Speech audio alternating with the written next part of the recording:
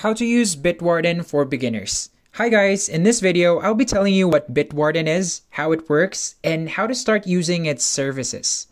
Well, if you use the same password everywhere, a hacker only needs to get your password once in order to break into many of your online accounts. So, Bitwarden is uh, one of the many password managers out there. So, to create an account in Bitwarden, there's no other way around it input your email right here because you can sign in using Google account or Facebook account, but apparently we're still using our Google account for this one. Now you can input your name straight right away right here. So let me just type that in. And of course, it asks you for a master password.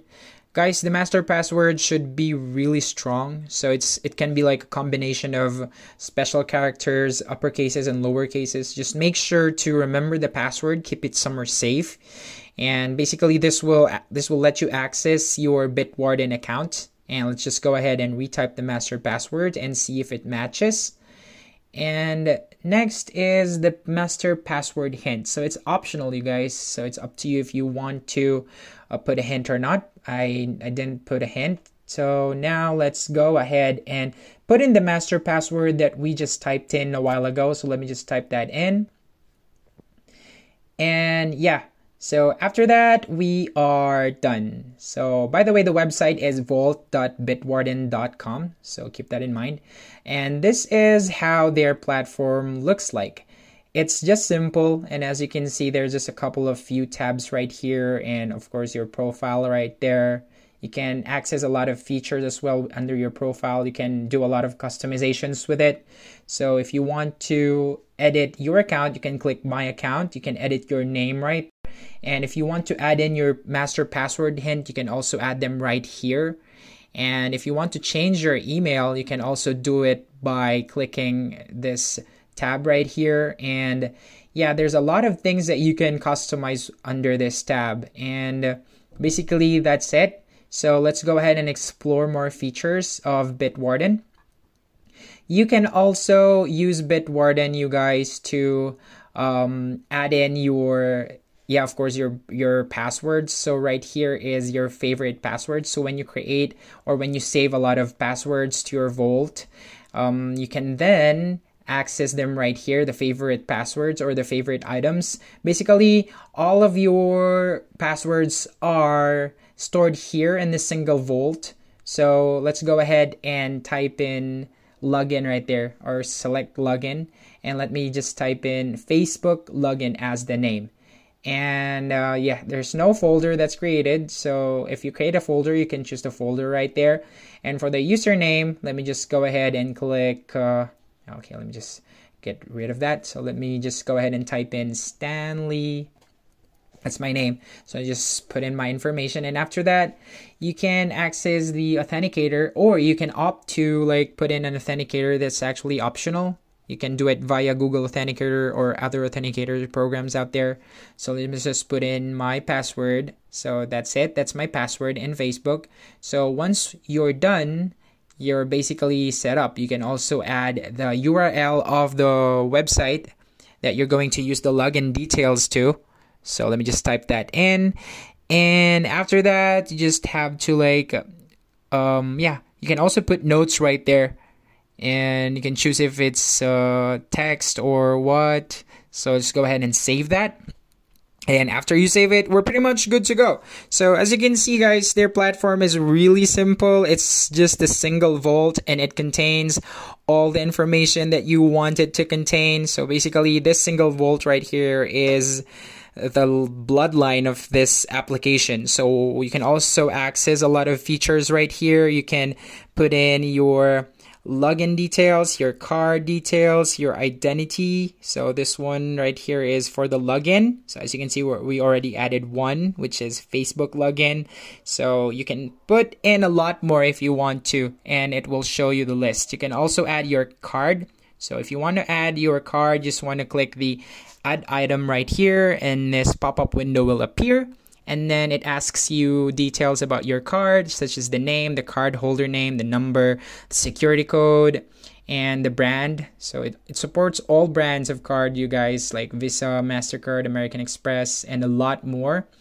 And basically that's how you add a card. So we don't have a folder for this yet but mind you guys if you create a folder it will show under that list. So you can add a folder right here. So let's go ahead and make a folder called socials. And if you want to add in uh, your Facebook login socials, you can do so. Just go ahead and edit the edit the information, and you can add item as well. You can add your identity, and basically they work all the same. You guys, each tab works the same. It looks the same. Just go ahead and click the plus sign at the top left corner, and then after that, a pop up window will appear which asks you the informations that you need to put in. Like for this one, this is our my identity. I chose 10 as the category. And of course now you can input the rest by yourself if you want to access this feature or if you want to use this feature just go ahead and click save if you're done. But for this tutorial let's just go ahead. We're just exploring the features so let me click cancel for that. And like almost password like almost all password managers you can also add in a secure note so secure note it basically works the same like other secure notes. So just type just choose what type of item it is and then write down your name and then put in the notes. So basically that's just how it works. And uh, yeah, these are this these are the features that you can access for free. The login, the card, the identity, and the secure notes. So I think this platform is pretty neat, so it doesn't really require, a, I mean, a huge amount of time for you to learn how to use it. So just uh, basically go ahead and click what uh, click the category you want to add like for example login card identity. So it's it, it works the same you guys. Uh, there's an add item at the top left corner of your screen and that's how you add the details. So once you've set up Bitwarden, it can be very annoying to log in without it. So, uh, if you know you're going to frequently use a password on a computer that does not have your Bitwarden information, you may want to commit the password to memory rather than randomizing it. So, now for this one, you can also send the passwords or notes, secure notes that you want to. So for this feature, just go and create new send and try to put out a name on it now for this one, I put in my house security codes. So under texts, that when that's the part where you put in the details of the passwords or the security codes that you want to send to someone else. So you can actually choose to um, choose to put in a password when somebody is trying to access the secure notes that you've sent just to make sure that it's the right person who is accessing it. So when accessing the send, hide the text by default. You can also choose that. So you can also copy the link to share this send to the clipboard upon save. So you can also choose a deletion date, a time span of how many days before the secure notes is going to be deleted. And this is what I'm talking about, you guys, the password. So you can add in a password to your secure notes to make sure that the per- the person is actually accessing the password that you want. So you can put them right here and you can put in a note. So you can go ahead and save it when you're done.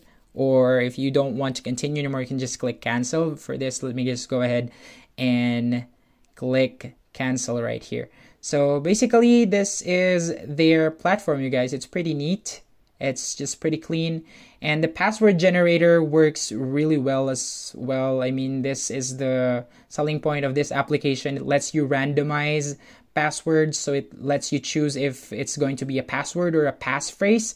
So I just choose which one is better for you, you guys, if it's going to be a password or a passphrase. And for the passwords, you can actually choose how long it's going to be. And how I mean the minimum numbers that's going to be in the password and the minimum special characters that's going to be in the password. So you can put in here 3 or 4 or whatever number that you like. Actually, it's a minimum you guys, bare minimum, so it means that the the actual password can contain 3 or more.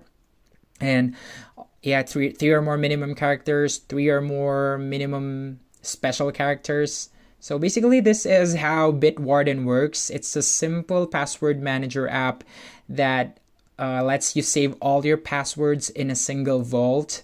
So I think the password generate, generator is pretty neat. And all the other features that you can access for free is also good. So what do you think, guys? You're up to speed with Bitwarden.